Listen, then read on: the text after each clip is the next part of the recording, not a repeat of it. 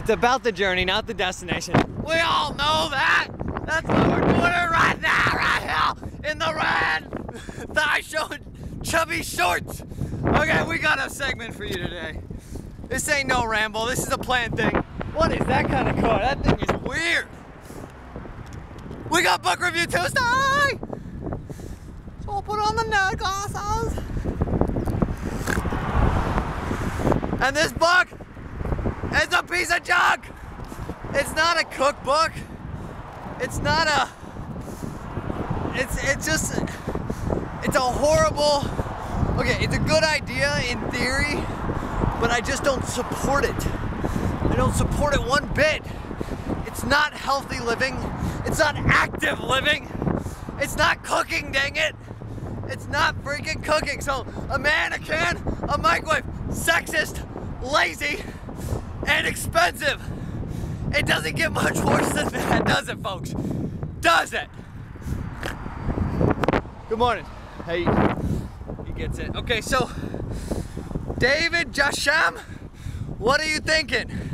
Now, David Shayani, number one fan right now. Thank you. Thank you, buddy. Number one fan. Always commenting, subscribing. Thank you for the support. Okay, back to the book. Back to the book. Let's see what we got here. Let's open this sucker up and get an expert out of it.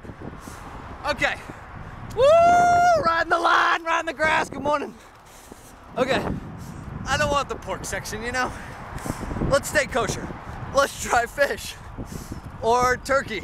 Let's do fish, okay? So here's what they want us to do. They want us to take a can of some sun-kissed tuna, get some uh, cream of mushroom soup, some mayo, and some yolks, some no yolk eggs noodles.